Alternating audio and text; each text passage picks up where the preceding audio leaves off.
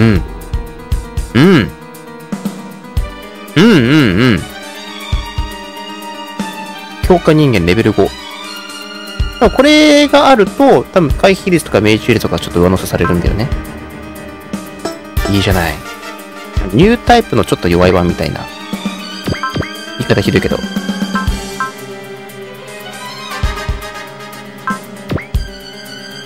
ちゃおう。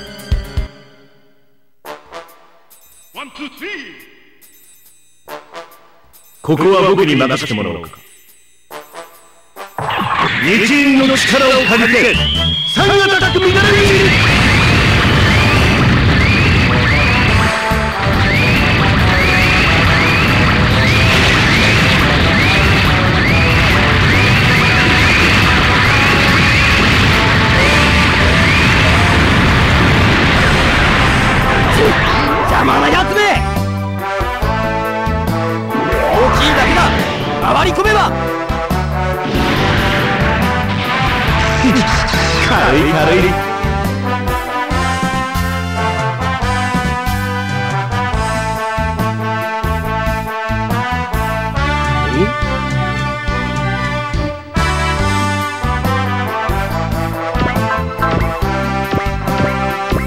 いやーなんかね、あの戦いはあの戦いで楽しめていたんだけど、やっぱ、ね、普通にちゃんと敵と戦おうとすると気が楽だな。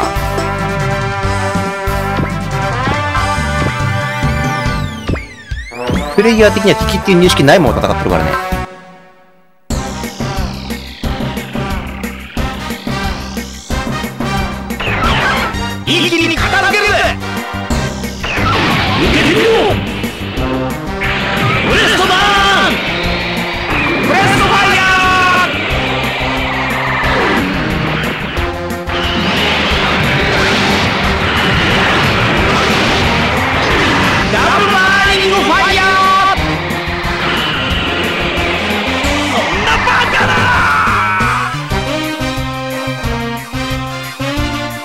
打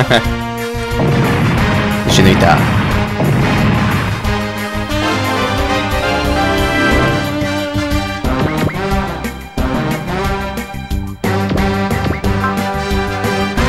でもこれ見てないな。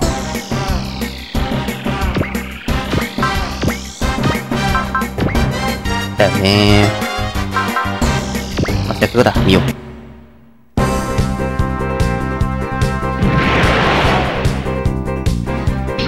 演劇初期低くてや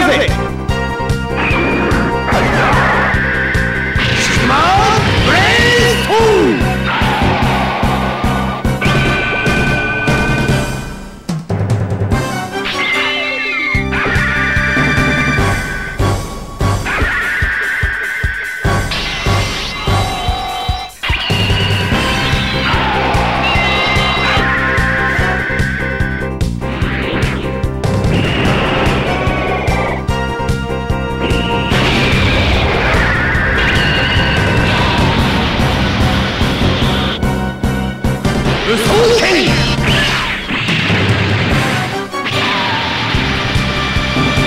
この敵とわ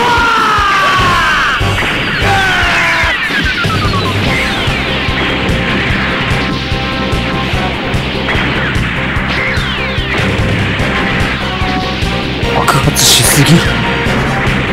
やば。さすが。応募も半端ねえけどでもこういうの自分で一回買ってきるもんね。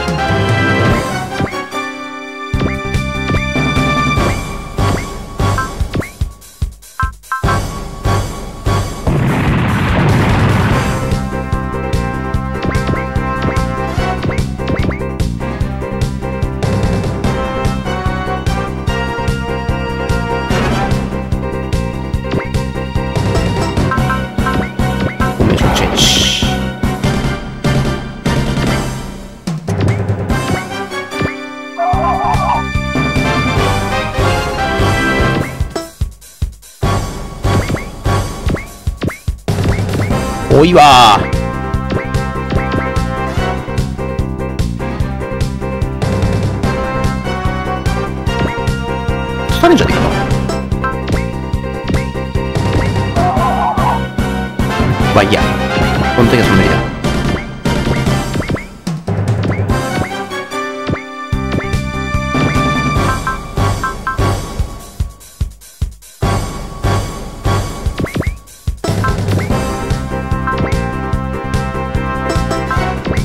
しかおらん。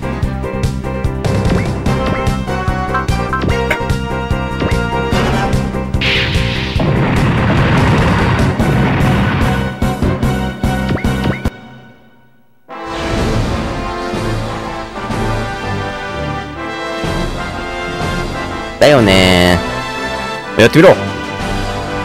おお削りに行ったよいしょ。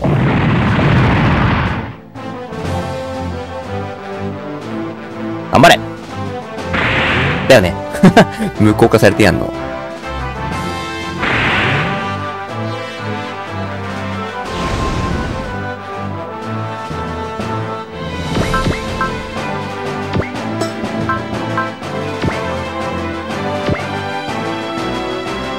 いや強いわ。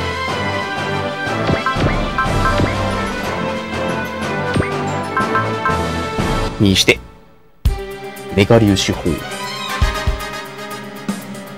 神よみんなのために。もや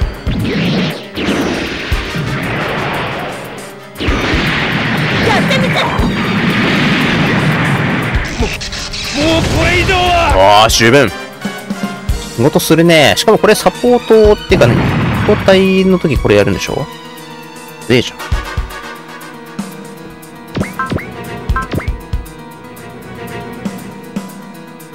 よし。一回見たいよね。今日は演出いっぱい見たな。栄光の星の名にかけて私のすべてバナリーカーバーに。いいよね。私はこの思いと共に戦う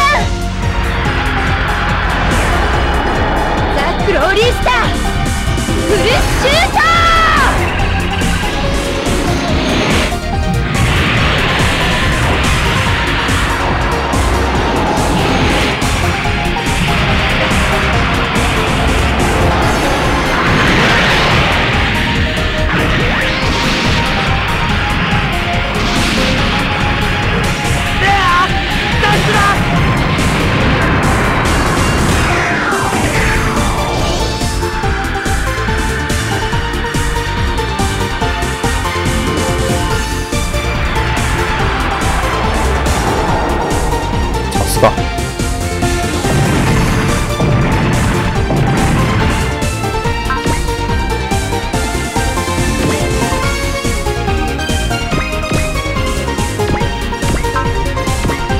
お前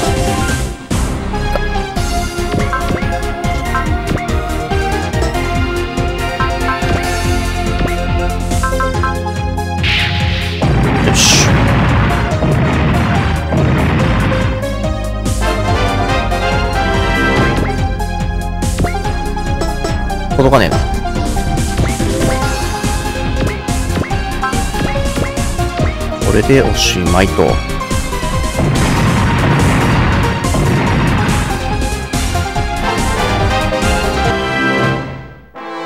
敵部隊の全滅を確認しました。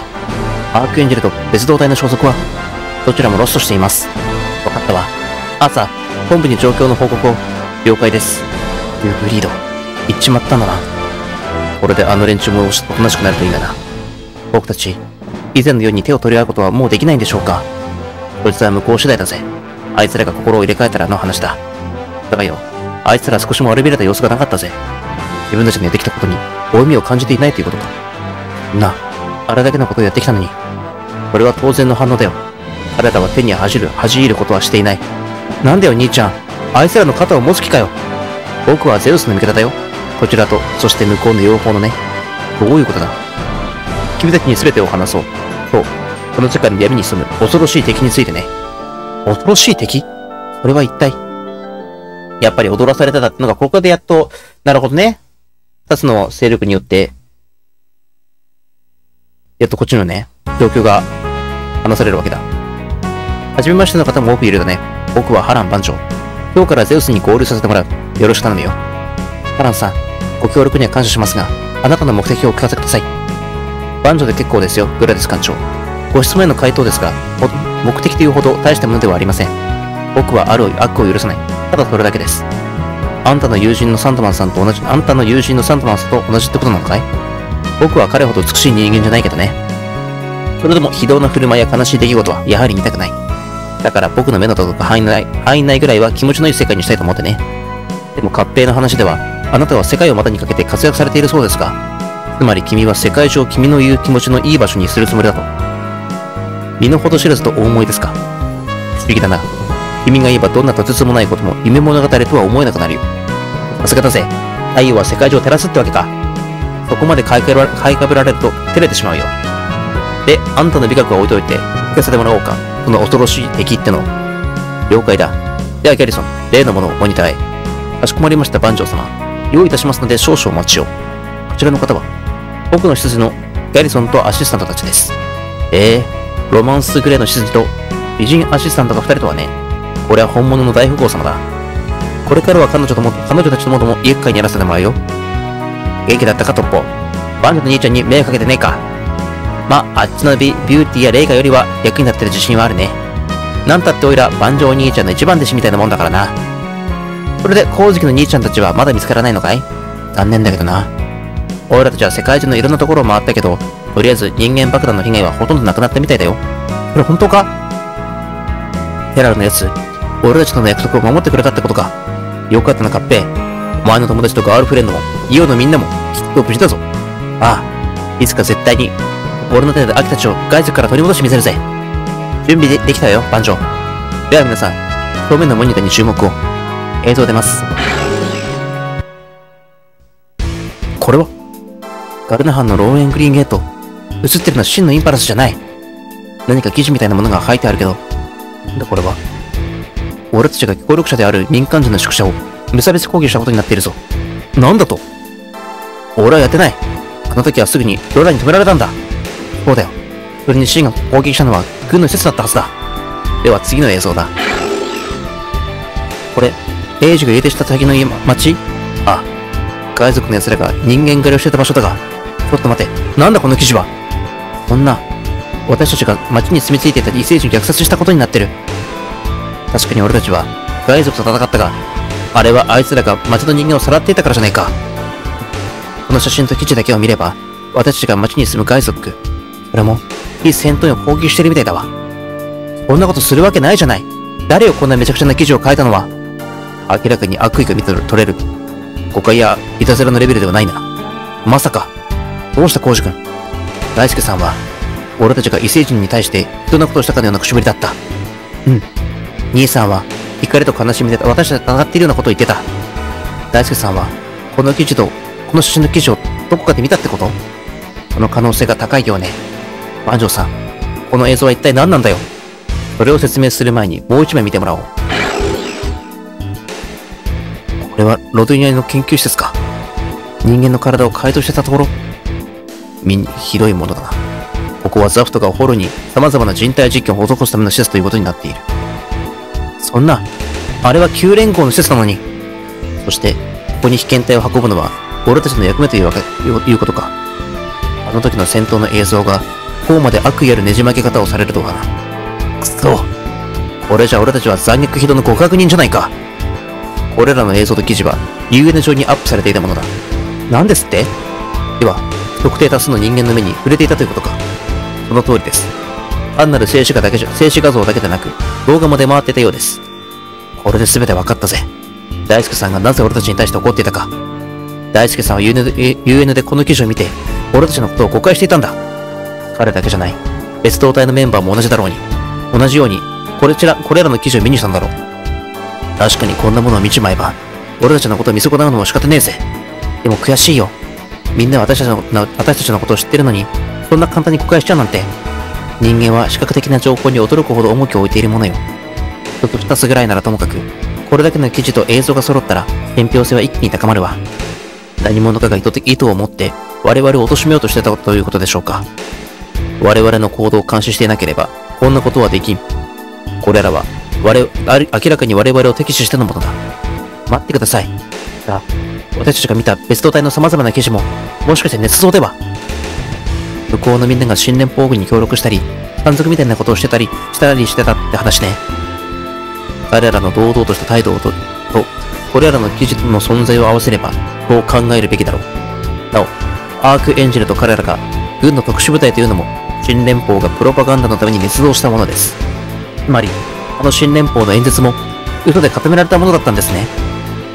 それなのに、私たちは感情に任せて、彼らのことを疑ってしまった。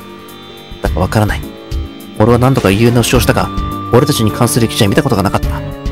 検索情報権をゼウスにしたとき、なぜ別動隊の記事だけが見つかったんだそれに、俺たちに潰しをさせるのが目的だとしても、こんな不確かな方法で賞賛があると思ったのかこの情報は、シラムのオルソン太陽と通して、向こうのゼウスにももたらされている。では、彼らもお互いに誤解してたと分かってくれるんですね。そうは言うが、俺たちを潰そうとした奴の意図は半分以上成功してるんだ。互いに潰し合ったおかげで、ゼウスの戦力はガタガタだ。まさに思うツボってやつだな。あのアークエンジェルも、こちらを誤解していたから、戦闘を仕掛けてきたのかしら。軍の特殊部隊というのを捏造としても、連中が戦場を混乱させて被害を生み出してきたのは事実だ。あの連中と考えていることが、新連邦とプラント両方の牽制だとしても、その手段は理解の範囲を超えているぜ。別動隊の面々はともかく、アークエンジェルが今のやり方を続ける以上、今後の衝突もやむなしと言えるだろう。問題は我々を潰し合いに導いたのは何者かということだ。バンジョの兄ちゃん、一体犯人はどこのドイツなんだ残念ながら、それは僕の調査でもわからなかった。だが、これだけの巧妙な情報を線を仕掛け、さらに今回のクーデターと動きが連動していることを考えると、新地球連邦の人間の所在だと推測している。カミーユ、もしかして、ギブラルタル基地であったあの男のことを考えてるのかい？でもスシロッコ。話を聞いていると、あの男の顔が浮かんでくる。奴の発するプレッシャー、計り知れない力と、不気味さを感じるんだ。そしてあの男は、ディアナ様を去ろうともした。カラン氏の言う恐るべき敵とは、我々を翻弄した謎の人物のことなのですね。神木の直感を置いておくとして、姿の見えない敵との存在は不気味ね。とにかく、一度議長の耳にも報告しておきましょう。グラディス艦長。その件だがこの一件、まずは我々だけで検討してみてはどうだろう。議長へ報告しないと。私も賛成です。敵の姿が見えない以上、なるべく情報は制限すべきだと思います。もしかしてあなたたち、ザフトのことを疑っているんですか？やめなさい、アーサー。訴えないでつまらない疑心を持てば、自分たちを危険にさらすことになるわよ。ペースの権限として、本件は本部への報告は取りやめます。敵の標的がザフトではなく、ゼウスである以上、まずは、私たちで対処しましょう。わかりました、グラディス艦長。まずは別動隊と連絡を取り、互いの状況を整理すべきだろうな。では、彼らの足取りを追いましょう。警察部隊を出します。くれぐれも気をつけせろ。この周辺は例のクーデターでかなりごたついているからな。なるほど。まあ、誤解が解けそうな何よりだ。アスランはどうしている？あの人なら部屋に戻ったよ。一人で考え事がしたいらしい。やっぱりショックだったみたいね。フリーダムのこと。ごめんなさい。私、そんなつもりで言ったんじゃ。そんな顔やめなよ。パーは芯を責めたわけじゃないんだから。お前よくやってほしい。やっぱりお前はすごい奴だ。でも俺は、憎しみでフリーダムと戦った。お前やセスコスに言われて、俺、ずっと自分に言い聞かせてきた。個人的な感情で俺は戦ってるんじゃない。戦場を混乱させるフリーダムはいてはいけない。だから倒すんだって。でもできなかった。俺は憎しみのままにあいつを。お前は人間だ。機械でない以上、感情を持つのはごく自然なことだ。そうだ、シン。俺も例の言う通りだと思う。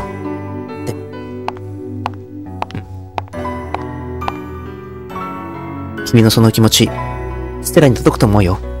ステラにうん。ステラは私に話してくれたよ。優しい人がいて、その人がステラのことを守ってくれるって。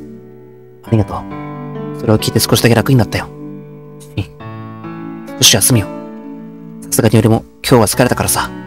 ゆっくり寝なよ。明日からまた忙しくなりそうだし。うん。みんなおやすみ。やっぱり彼のことが心配。ああ。俺たちは真の気持ちを整理させるために、フリーダムと戦うことを勧めたが、もしかしたら逆効果だったのかもしれない。そんなことはない。今日の勝利はまた真を強くする。いつかあいつは誰も手の届かない位置まで登っていくだろう。そうかもね。最近の死を見てると本気でそう思えるよ。優しさは力になるよ。ね、カミーユ。え？カミーユも私を守ってくれた。カミーユが呼びかけてくれたから、私は最後の支配から抜けることができた。シラムでの戦いの後、私、バンジョーさんに助けてもらったの。あの人もあそこにいたのか。不思議な人よ。弱っていた私を治療して、ここに連れてきてくれた。私嬉しかった。また神に会えるって分かったから。その日が来るのを待ち遠しかった。私、過ぎた日々よりも、明日を思うことが初めてできたよ。だから私、失った昨日よりも、君と一緒に過ごせる明日を選ぶよ。迷惑？そんなことあるもんか。君が生きていて、そしてここにいることが、俺にとっても何よりも嬉しいよ。あなた、カミーユの恋人？え、私はカミーユの幼馴染で、友達ってこと？じゃあ、私と同じだね。えねえあなた、私とも友達になってくれる？もちろんよ。あなたはカミーユの大事な人なんだもんね。恋のライバル現る。私はパーユーリー。よろしくね、フォー。こちらこそよろしく、パー。フォーも今日からゼウスの一員なんだよね。じゃあみんなを紹介しなくちゃ。うん、お願い。そしたら、私ここで探していたものが見つかりそうだよ。よかったな、フォー。生きているということは、いいことだな。え彼女を見ていると、そう思えてくる。どんな風に言われようと、人は生きていることが大切だとな。で、つまらない話をした。忘れてくれ。そう、つまらないことだ。俺にはシンがいる。シンならきっと戦ってくれる。ギルの導く未来のために。はい、ということでね。